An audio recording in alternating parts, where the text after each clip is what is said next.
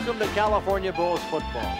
I'm Fran Tarkenton, your play-by-play host for this exciting professional football season. And now let's take a look at the Bulls. The Bulls may not have the prettiest record in the league, but they certainly have the prettiest owner. Mrs. Diane Barrow, who acquired the team in a scandalous divorce settlement, will have to prove that being a woman will in no way affect her relationship with her players. She has come under fire for acquiring quarterback Bob Dorsey, who critics feel can no longer get the job done.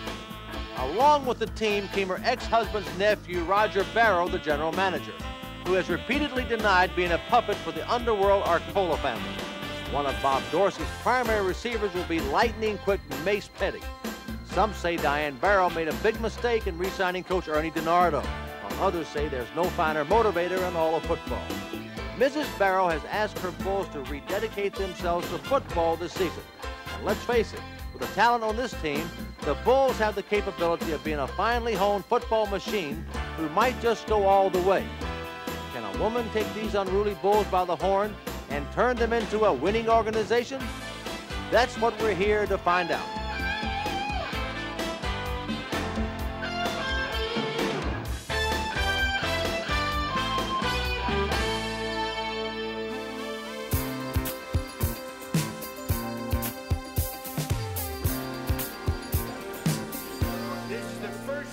Trip of the season. I want to go with you some of our rules for road trip decorum. Right. right. I know, I know it's tough. But remember, a broad owns the team now, so we have to put up with this kind of shit. All players must wear clothes in public places. Hey, I know it's tough. But at least try and have your underwear on when you're in the hotel lobby. The second major thing we try to stress is punctuality. And there's a third rule concerning concealed weapons. Tell me what's on your mind, Kessler. All right, Roger. Now listen to me. Are you on a secure phone? Yes, I'm on a secure phone. Good. I've been talking to our principal, and he's had an idea that's perfect. What's the idea? To catch Diane Barrow the same way she caught Paul, with her pants down. After Sunday's game, I'll have a piece of videotape that Diane Barrow will give anything to burn. Where do you expect to do this? I'll explain everything to you when I see you in Dayton. Goodbye. You know, sometimes I think my sense of irony is thrilling. Don't you, Jeff? I'll tell you what's thrilling, Paul. The 50000 you're going to give me for that tape. Therefore, having determined that our pre-tax revenues for the next fiscal year will not exceed 10% of current levels, it is my position that our lease agreement with Municipal Stadium should remain fixed at the present rate. Hi. Hi. Ready for our shopping spree? Just a second. Uh, yours truly, Diane Barrow, owner and president of California Bulls. Well, I've no idea what to buy.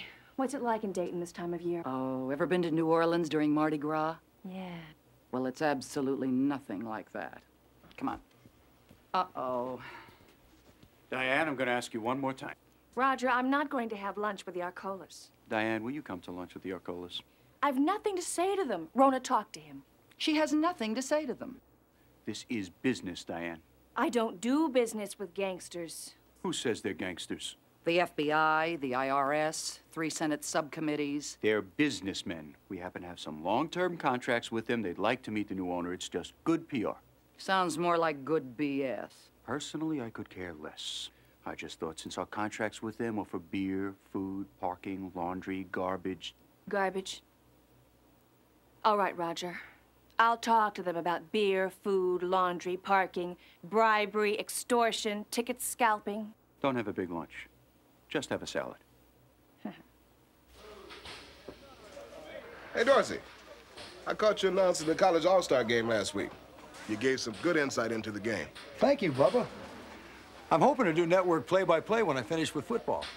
Man, you know, when we traded for you, I said to Jethro, Jethro, what do we need another old, broken-down, dumb quarterback for? But you ain't dumb at all. Well, thank you, Bubba. I'll be watching for you on TV.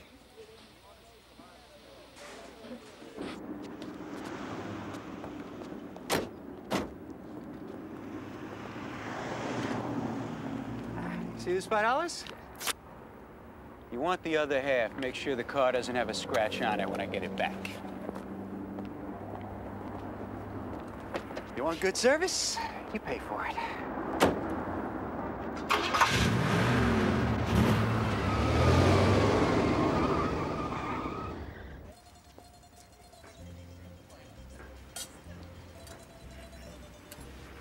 Ah, Mrs. Barrow, I'd like you to meet Vince Arcola and his uncle Sal Arcola.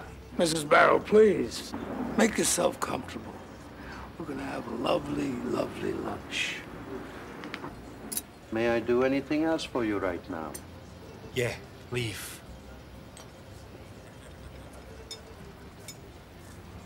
Come on, pick it up. You don't run faster than this when we get to Dayton, we might as well phone in the game. Sometimes I feel like killing that white-haired son of a bitch.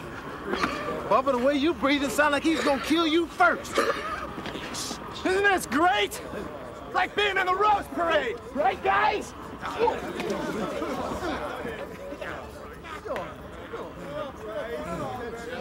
Hey, wait for me. God, Brad. Lift up those knees. Let's see some work there. I heard you guys were nine-point favors over Dayton. To that effect. If I were a betting man, I say that makes a pretty interesting proposition. Hey, try some of my fettuccine. Uh, I don't believe so, thank you. Good. More from me.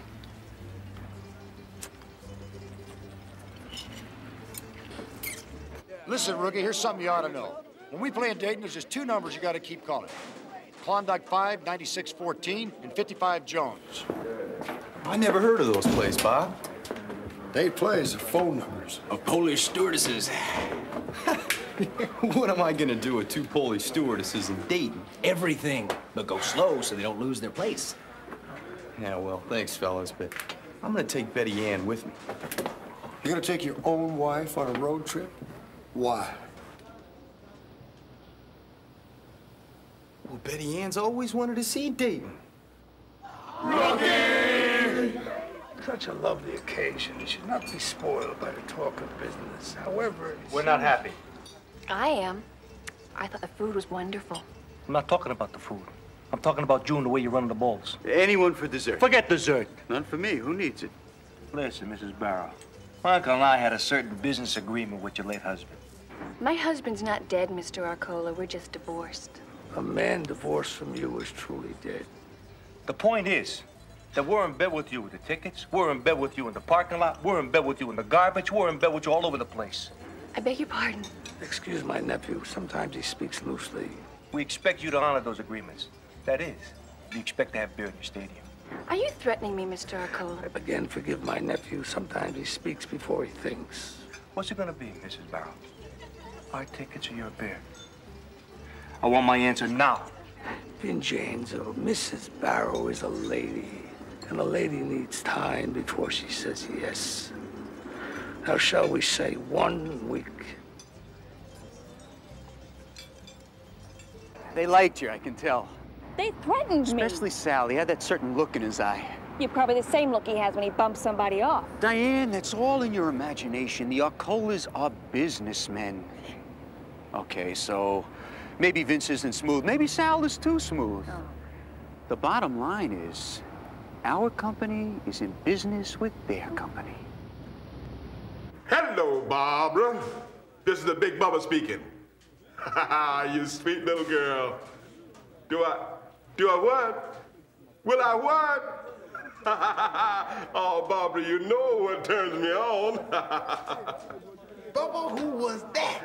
That was Barbara Ann. The girl who will cater to my every whim when we get to Dayton. She is special. The girl in Chicago was special. The girl in Toronto was special. The girl in Minneapolis was special. You say that about every girl in every city we play in. No, this one I'll marry. Bubba, you already married. Earlene ain't gonna live forever. Oh, is Earlene sick? Yeah, she's sick. You be sick too if your mouth never stop moving. Tell you what, Jethro, I'm going to Dayton to see my sweet Bob Bob Barbara Ann.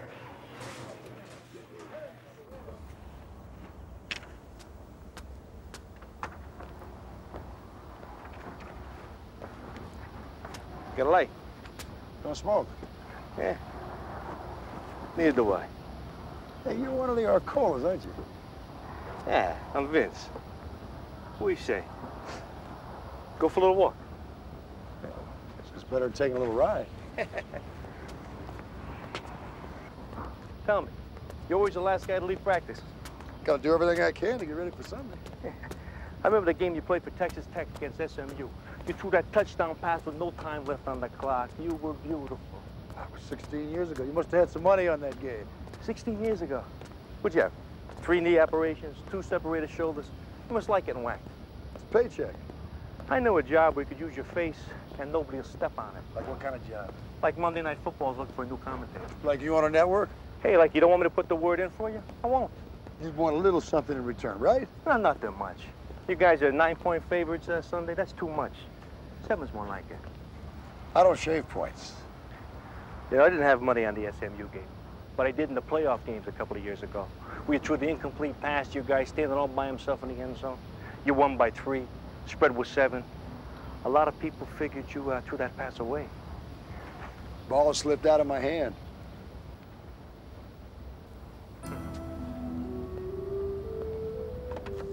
Hey, can you make that ball slip again?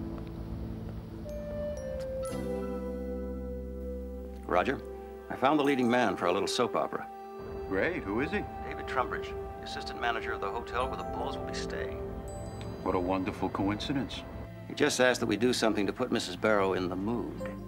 I'm sure it'll be an easy pill to swallow. See you in Dayton. You'd be doing the show here in this studio. Did I show you your dressing room? No, it doesn't matter. We'll redecorate it for you. Fur walls, bullfighter posters, all the stuff you jocks like. Mr. Kent, I appreciate the tour and the job offer, but uh, why the sudden interest in me? We've had an eye on you for a long time. Football has already made your name a household word. You're good looking, you can talk, and you've got a friend who thinks you're destined for stardom. Vince Arcola, this sports wrap-up show is the final stepping stone to Monday Night Football. Here's a contract. Have your people look it over, but we need an answer quick. Uh, why don't we say uh, by noon Sunday? You know, for the first time in my life, I feel like this is right. That this is exactly right. Oh, I know what you mean. You do? Yes, I know exactly what you mean. Oh, I wish this moment could last forever. Oh, it can. It can. What? Hey, get your ass out of there. I can't hold it any longer. Hello, Mr. Dorsey. Looks like you've got some heavy reading there. Another paternity suit? no, no, I haven't had one all year. Last year I led the league. Guess the writers are right. Must have lost a step. Maybe it's time to start thinking about retirement. Retirement from what? Well, there is life after football. It's important for players to think about their future. Guys like me aren't really uh, too well prepared for much after their careers are over, so sometimes they have to grab what they can, even if the uh, price is a little high. Well, I suppose you have to decide whether what you want is really worth it. And I'd read the fine print very carefully.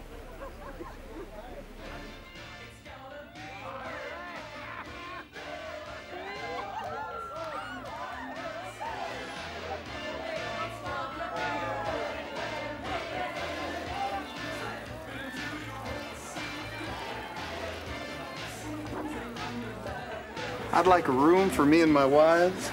Your wives? Yeah. How wonderful that you're all so close. We work at it, don't we, wives? What's the name, please? Uh, Smith. Mr. and Mrs. and Mrs. Smith. Sure.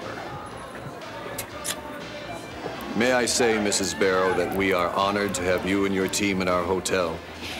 Well, I find that hard to believe, but thank you. Yes, uh, I'd like a room for me and my sister, please. This is your sister? Yes, sir. Uh, do you have a problem with that? No, but you're black. Well, I know I'm black, and so does she, don't you, sis? Right on, bro. The name is Smith. Yeah, please. I know. Smith. Thank you. Have a good day.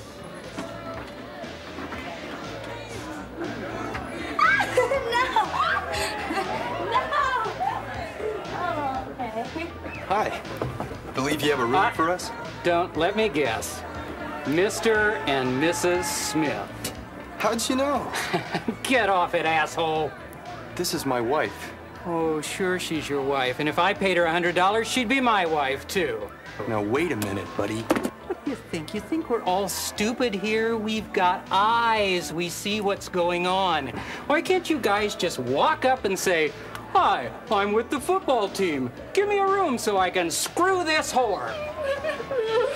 It- It's okay, Betty The good Lord has just presented us with a cynic whose path we must correct. Now just stand here while I correct him.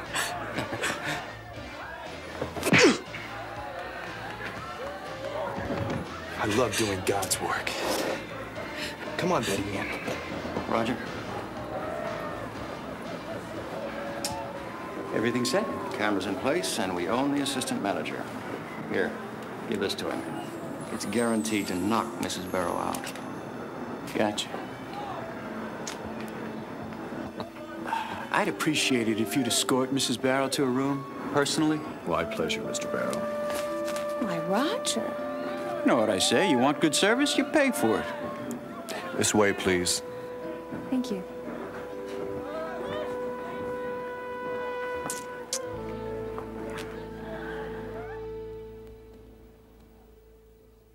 Barbara Ann, please, let me in. Bubba Kincaid, I want you down on your knees and beg. Barbara Ann, I'm down on my knees. Please, let me in. Hello, Bubba. Everything all right? Couldn't be better, Miss Barrow. Vince, Bob Dorsey here. Um, I want to thank you for setting things up for me at that TV station. Hey, don't thank me today. Thank me Sunday. Look, Vince, isn't there something else I can do for you besides shaving points? Uh, how about endorsing a line of clothing for you? Putting my name to maybe a football summer camp, something like that. Dorsey, win one for the Gipper. Just don't win it by more than eight.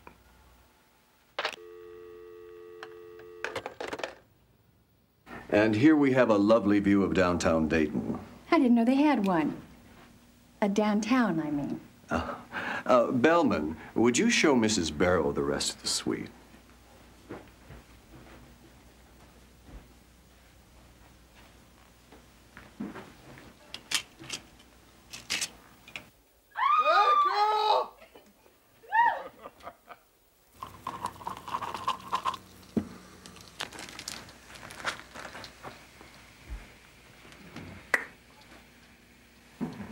Let me just see if I can fix this picture. Good work. I can see everything. Oh, My goodness, champagne in the afternoon. This is Dayton, Mrs. Barrow. We live life to the fullest. Well, thank you. Cheers. Room service. Go away. Don't want no more food.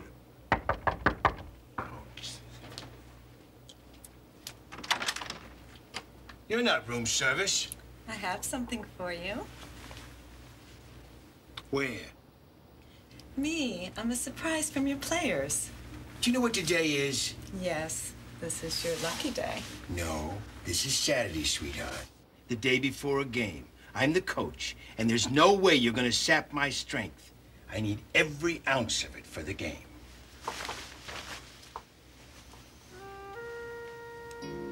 Why don't you come back tomorrow around 8 o'clock?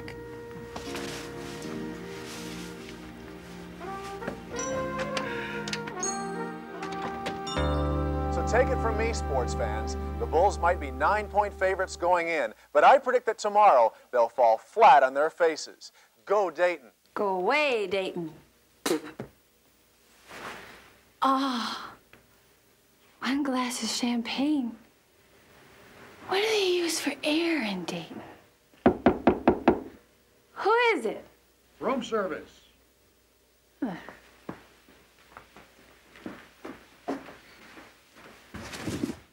didn't order any room service. No, but I did. Uh, can we talk? Mr. Dorsey. what a surprise. Come on. What the hell? The assistant manager's supposed to show up when she gets zonked. this is better than we planned. The owner and her quarterback in the hay. Oh, Paul will love it. I better call off the assistant manager. Do you want some champagne? Do you always drink this much before a game, Mr. Dorsey? No, ma'am. Usually I'm drunk by now. But I wanted to talk to you, so I stayed sober. Somebody wants me to shave points tomorrow. Shave points, that's serious, huh? So what do you think I should do? I think we should have another little drink. Then we'll talk. I'll get you a glass. Whoa, whoa. You didn't exactly stay sober, did you? Well, I don't know what's wrong with me.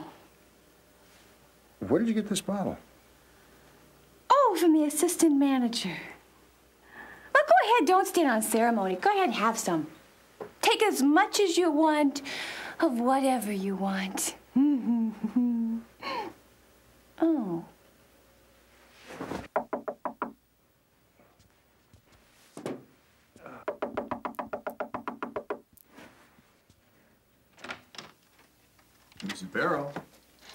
It's the assistant manager. Are you decent?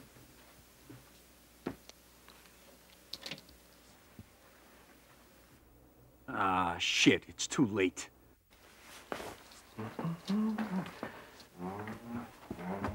Oh, down, son of a bitch! Who put you up to this? Oh, jeez! Wait there for the cleaning lady, you bastard!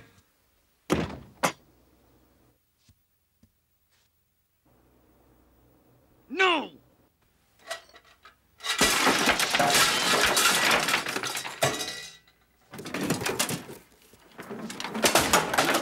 Damn it! Ah, I know, Daddy. I know. You raised me to be a gentleman. Damn it.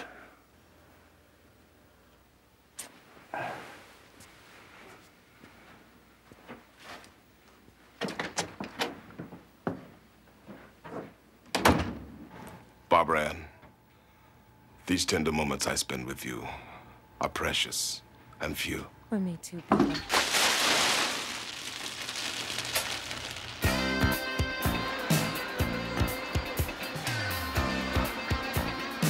With 36 seconds to go in the game, Dayton has called for a timeout. The Bulls, with an eight-point lead, can run out the clock if they get a first down on the next play. But you can start the dinner, Mama. This one's history. It's the first time ever that the Bulls have won the first two games of the season. It's gotta be a great road trip for the new owner, Diane Barrow. The Bulls come out and send Williams wide to the right, Petty wide to the left. Nate must guard against the pass, but the Bulls need a first down desperately. Dorsey takes a snap, drops back. Oh, he hits Ty Taylor over the middle. First down, Bulls, and 30 seconds and I'm home three. We beat the spread, Dorsey. That's a good boy. Run the clock. On one knee, Dorsey. On one knee. As the clock winds down to the precious few seconds, the Bulls will be 2-0 while Dayton remains winless. 68 Special D. Why don't we run it out, Bob? We got it won. You do, asshole, bet the spread? Me? Shit, no. Not once it went over seven. 68 Special D. We're going for it. On one. Ready? And this most likely is the last play of the game. Dorsey will line up over center and should go down on one knee as soon as he gets the snap. I know, that was my favorite play, and I'm sure Bob is going to agree with me. Oh, what's this? Dorsey drops back. He's going to throw.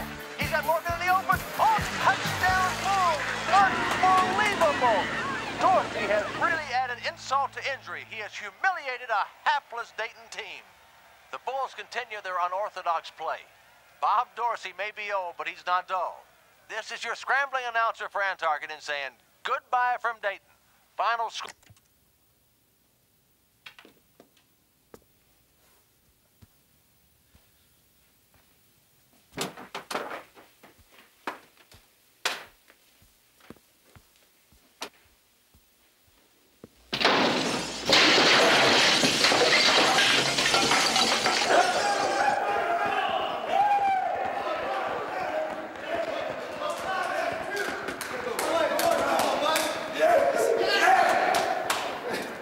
Bob, uh, I figured out most of what happened last night, but what I'd like to know is did anything happen?